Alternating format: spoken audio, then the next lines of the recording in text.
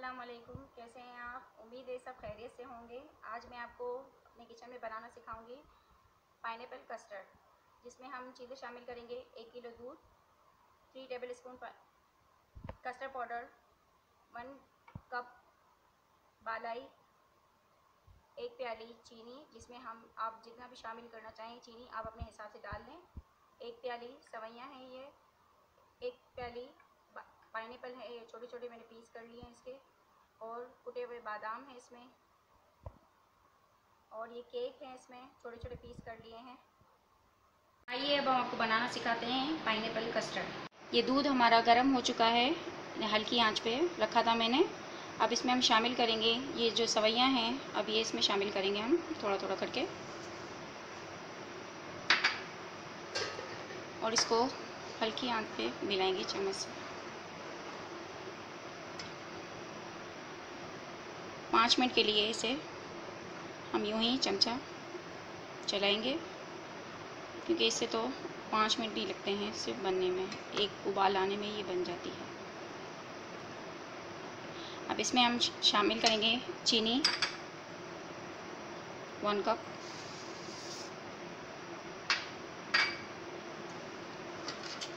अब चीनी हम मिक्स करेंगे। आपको जितना मीठा चाहिए, आप अपने हिसाब से चीनी ले लें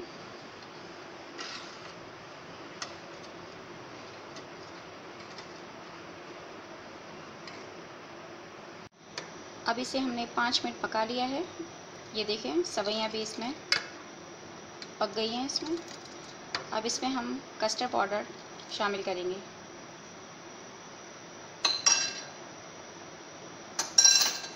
एक हाथ से डालते जाएँगे और एक हाथ से चम्मच चलाते जाएँगे। गाढ़ा होने तो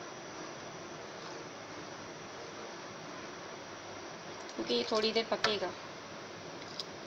थोड़ा थोड़ा करके डालते जाएँगे।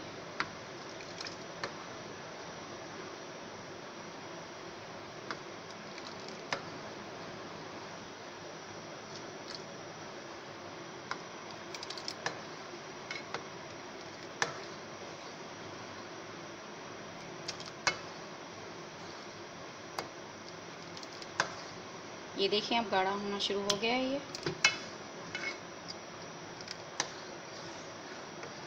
इसका कच्चापन हम ख़त्म करेंगे पाउडर का, और इसको चमचा चलाते जाएँगे इसे।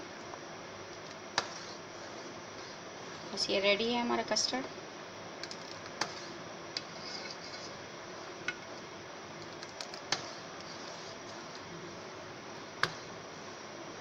अब ये देखिए, ये गाढ़ा हो चुका है। अब हम चूल्हा बंद करके इसको ठंडा कर लेंगे। अब ये कस्टर्ड हमारा ठंडा हो चुका है। अब इसमें हम बालाई, ये जो एक प्याली है, हम इसमें शामिल करेंगे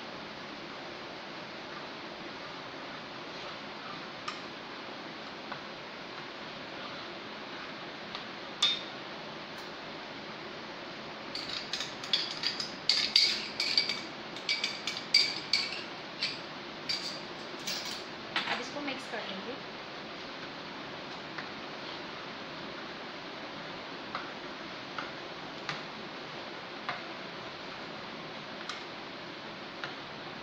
अब इसको हम सर्विंग बोर्ड में निकाल लेंगे।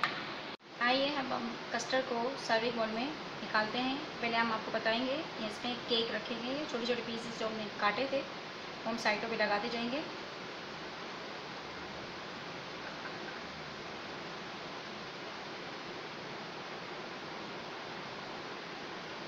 साइडों पे इसकी लुक अच्छी आएगी।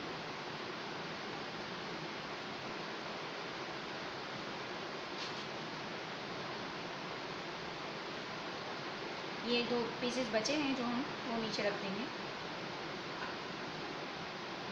इसके ऊपर हम कस्टर्ड डालते जाएँगे साइडों पे।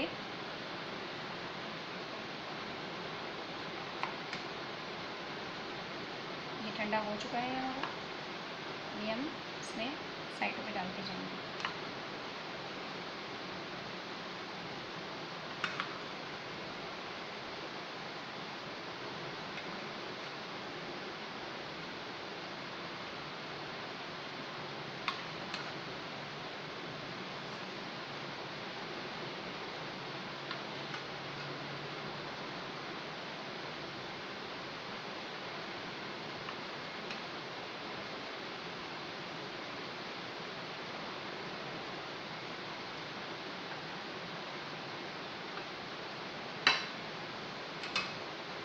ये कस्टर्ड हमने इतना डाल दिया है इसमें। अब इसके ऊपर हम पाइन के पीसेस हैं, जो छोटे छोटे जो हमने काटे हैं, वो रखते जाएँगे।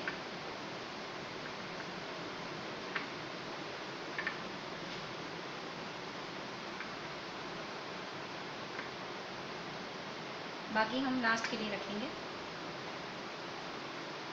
ये हो गया हम। अब इसमें जेली थोड़ी थोड़ी डालेंगे इसके ऊपर।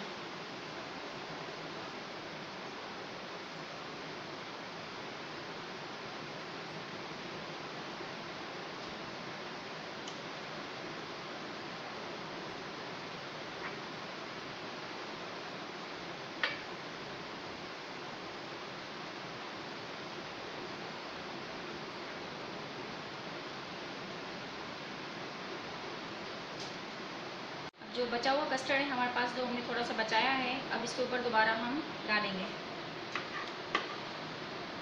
थोड़ा थोड़ा करके इस पर डालते जाएँगे।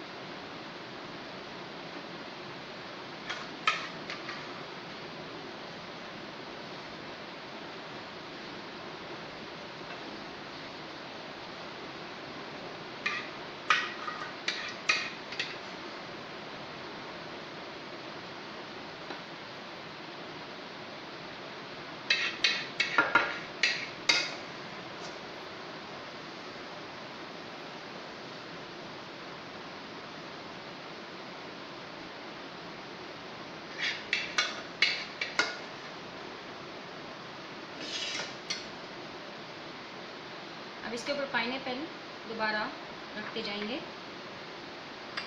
गार्निशिंग के लिए।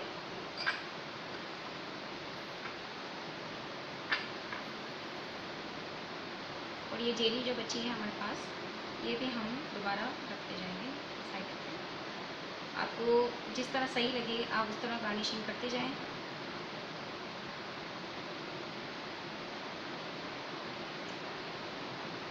बहुत यमी कस्टर्ड है। घर पे ट्राई करें। और मुझे बताएँ कि आपको कैसा लगा है।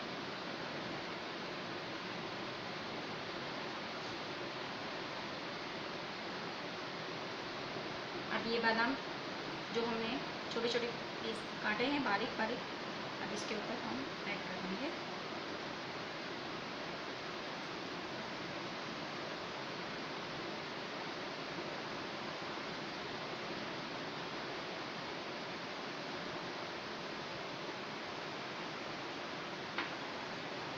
लीजिए मज़ेदार। पाइनएप्पल कस्टर्ड तैयार है हमारा। मज़ेदार कस्टर्ड तैयार है हमारा। आप इसे ट्राई करें और मुझे कमेंट्स में बताएँ कि आपको कस्टर्ड कैसा लगा है। और मुझे, मेरी वीडियो को लाइक करें शेयर करें और सब्सक्राइब करें। और नेक्स्ट मिलते हैं नेक्स्ट रेसिपी के साथ। अल्लाह हाफिज़।